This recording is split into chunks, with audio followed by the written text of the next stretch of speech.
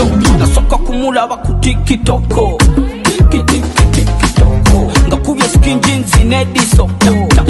va kumutunda edisoko figa stede ntambula kati woko